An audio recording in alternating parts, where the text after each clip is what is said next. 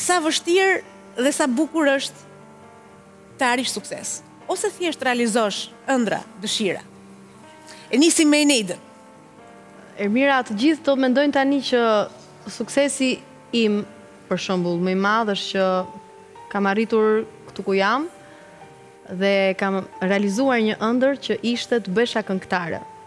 Artiste. E ke pasur që në fëmijëri? Ka qenë një ëndërr e fëmijërisë? Që e vogël që në mbrëmjet familjare, mbledhkat me dajot me kitarë dhe ato drekrat edhe zjafetet e bukura që bëheshin nëpër familjet shqiptare. Kam kënduar, kam kërcyer, kam imituar, kam bërë gjithçka që ka të bëjë me artin sepse aty e kisha talentin. Sigurisht që ky është një sukses shumë i madh. Edhe falenderoj gjithë ata që kanë vënë një gur në këtë sukses, pa përjashtuar asnjë. Dhe sigurisht edhe këmbguljen time. Por suksesi im më i madh në fakt është që Fati më dha një vajzë e cila e kupton sakrificën e suksesit tim dhe në një letër shumë të bukur për tetë marsin më shkruan ë Mua më pëlqen dhe e vlerësoj, të dyja këto, mënyrën se si ti i bën gjërat dhe i shkon deri në fund atyre. Kështu që suksesi im më i madh në fakt është që i kam mësuar Arias përveç që e kam në jetën time dhe më ka mbushur zemrën dhe shpirtin plot, i kam mësuar Arias që gjërave duhet t'ju shkosh deri në fund, qëllimeve duhet t'ju shkosh deri në fund. Dhe ajo në momentin që vendos të shkruaj një letër për tetë mars, dhe është një gjë shumë e bukur të shkruash një letër, jua sugjeroj të gjithë fëmijëve, vajzave dhe djemve, që në momente të bukura festash të mamit dhe të babit është bukur Me shkrimin tuaj, me atë stilolapsin e shkollës, të shkruani ca gjëra sepse gjë më të bukur nuk ka. Dhe ajo këshillat e tua i hedh aty. Si të bën të ndjehesh kjo? Do me thënë, po të kishte krah, sigurisht do më dilin mua. Po të mm, kishte krah njeriu. Po. Sigurisht që ndihem shumë krenare dhe Shpresoj që kështu të vazhdojë të marri nga pak mësim nga të gjithë njerëzit që e rrethojnë edhe që e furnizojnë me me vepra të mira dhe të Dhe me dashuri. Dhe me dashuri, patjetër. Fëmijëria jote me fëmijërinë e vajzës, ë, Ka ndryshim. Sa ndryshim, po a ka ndonjë gjë të përbashkët aty? Ka mënyrën se si i shikon ajo gjërat. E Unë kam qenë e urtë si ajo, kemi disa të përbashkëta, mhm. edhe e qetë. Mhm. Nuk kam ulëritur kurrë ose bërtitur kurrë. Nuk kam qenë fëmi trazovaç. Kurse përsa i përket kushteve të jetesës, sigurisht që Arjas nuk i mungon asgjë, si nga mua dhe nga i ati i saj. Ë, por kam përshtypjen që në fantazi ne kemi qenë më të lirë edhe kemi qenë më më të mbushur, sepse kemi pasur pak gjëra dhe krijonim nga ato pak gjëra që kishim.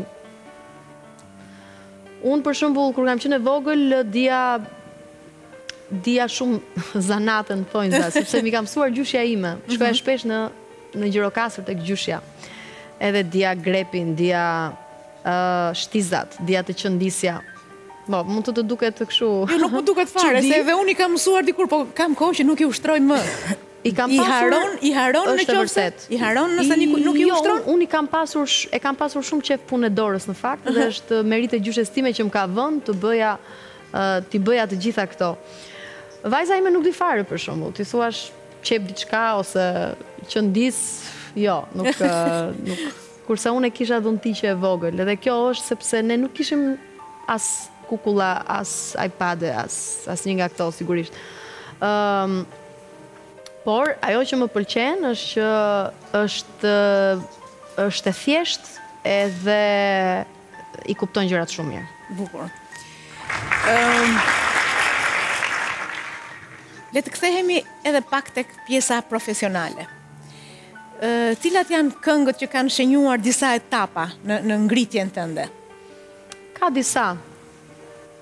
Uh, kënga yjet e shpresës që kam kënduar me Sajmir Çilin ishte një këngë fituese për kategorinë e të rinjëve festivalin e RTSH-së. Mhm. Dhe një ogur i mirë që unë të vazhdoja karrierën e gjatë artistike, disa këngë të bukura ku unë krijova profilin tim artistik me Erjon Zaloshin dhe një nga këngët më të bukura dhe që ka ngelur në memorien e njerëzve është kënga Ika larg, një këngë që akoma dëgjohet, përpunohet, më vijnë variante remix të këngës, por sigurisht që ia kam borxh kësaj kënge një Një remix të vërtetë dhe zyrtar. Pastaj vjen bashkëpunimi me dy tre bashkëpunime me Flori Mumajesin. E para kënga me veten që sapo na e solli Era aq bukur në festivalin e Top Festit.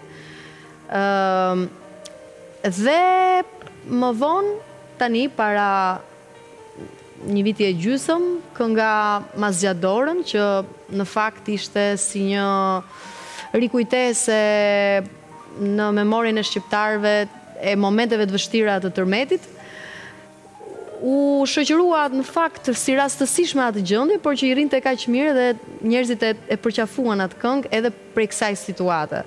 Pastaj një moment shumë i spikatur në karrierën time është edhe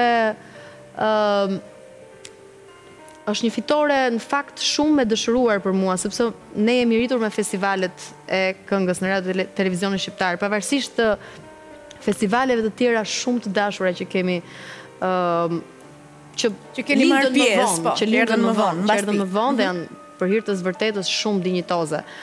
Por të fitosh trofeun e festivalit Kombëtar Shqiptar në Radio Televizion ishte i pesëdhjetë e katërti, të them të drejtën ishte një emocion i veçantë që më çoi në skenën e Eurovisionit.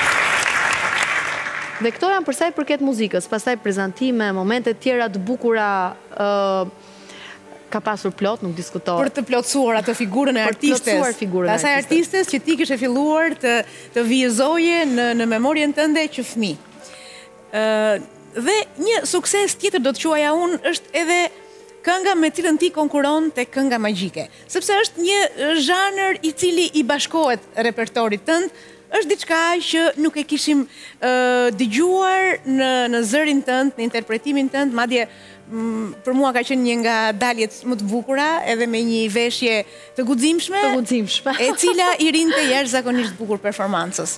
Dhe do kisha shumë dëshirë në fakt që këtë sukses të momentit, çastit, të radhës, sepse ka të tjerë plot, do të ketë të tjerë plot, unë dëshiroj që ta sjellim edhe sonte në në studion tonë. Me shumë kënaqësi edhe më lejoni t'ju them që jo vetëm unë, po edhe Era kemi këngë shumë të bukura edhe Era me siguri do ta ketë, Absolutisht. do ta këndojë pak më vonë. Pasi të ketë treguar etapat e saj të suksesit. Këngën e saj. Kënga ime është një duet në fakt dhe unë Valter Riçin, këngëtarin tjetër napoletan, unë nuk e kam këtu për ta kënduar, por le të themi që do ta shijojmë duke kërcyer edhe duke u sjellë pak vërdallë nëpër skenë me këtë këngë, duke interpretuar, sepse është latine, mhm. është e ritmeve latine dhe ë nuk ka ardhur kot kështu sepse meqë kemi verën përpara, thashë të bëj diçka më, se u mërzita me balada, të them mhm. drejtën. Era gjithmonë ka tentuar për gjëra ë për gjëra më ritmike, kurse unë jam në përgjithësi kam balada, kështu që thashë të dal njëherë nga ajo rutina e E përhershme imja. Me një ritëm tjetër. Kështu që le ta dëgjojmë.